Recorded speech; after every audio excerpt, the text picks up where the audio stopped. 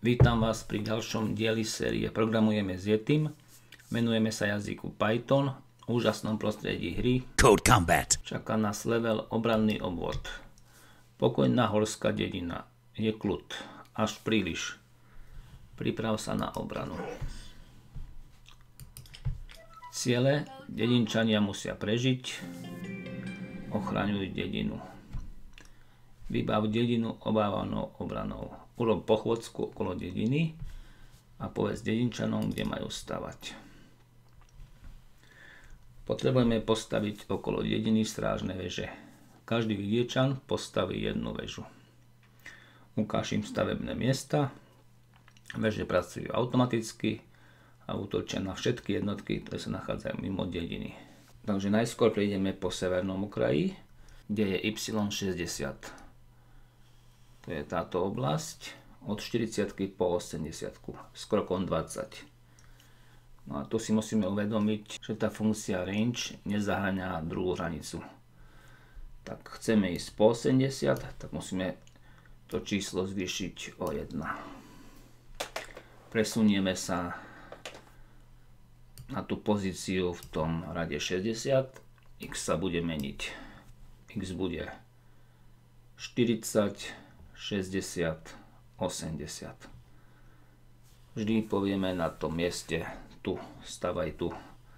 Teraz pôjdeme východným okrajom, čiže slbcom 80 a bude sa meniť y od 40 po 20. Musíme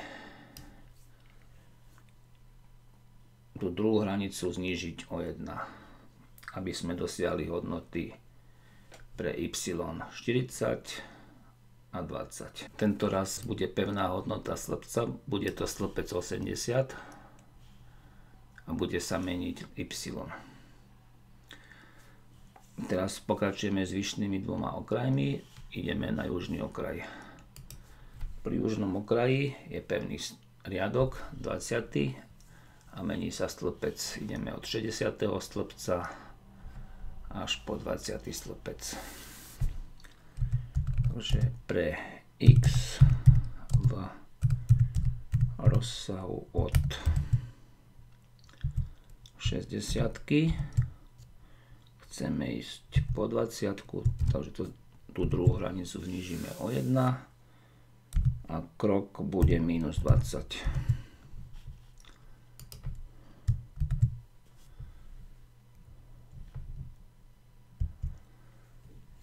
presunieme sa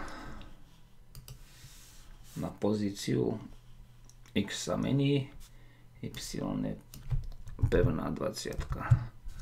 Takže x bude 60, 40 a 20. A vždy povieme tu. Skúsme mu to povedať po slovensky.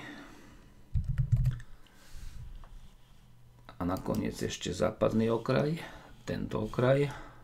Tam máme pevný slpec, 20. slpec, mení sa y. Takže pre y v rozsahu od 40 máme ísť po 60 takže zvýšime tú druhú hranicu o 1 a krok bude 20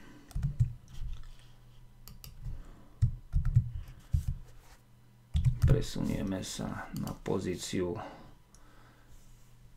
s pevným stĺpcom, so stĺpcom 20, y sa bude meniť, bude 40 a 60. No a skúsime to opäť po slovensky tu. Tento raz dáme aj výkričník a veľké písmeno. Skryjeme sa v dedine na pozícii 50-40 niekde tu v strede okolo tej studne. Code Combat. Odoslať.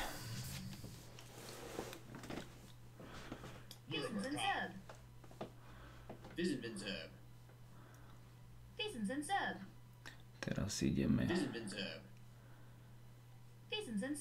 dolu, južný okraj. Visit. Západný okraj. Vidíme, že vidiečania rozumia aj slovenčine. Je to ozaj mocná zbraň. Tieto automatické veže.